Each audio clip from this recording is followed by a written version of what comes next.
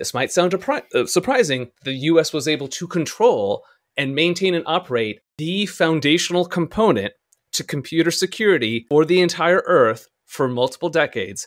But it is true. These data feeds don't just go to human beings like you get an alert back in the day on your pager, on your phone, right, or in your email. Rather, there are automated systems, automated systems of monitoring and protection that ingest this information. There are automated systems that every time you update a computer program, another computer program scans your code base, identifying where you might have created a known vulnerability and exposure, not just a zero day, not just like, oh, this is day zero of knowing about this key vulnerability, but all historical vulnerabilities and exposures that may be relevant to the languages and tools you use to create that computer program. It scans it, notifies the developer, the software engineer, oh wow, I've created a couple yellow, a couple orange, and a couple like hair on fire vulnerabilities.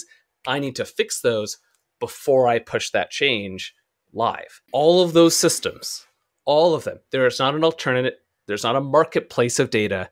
There is one system that generates that information, and that is the CVE system.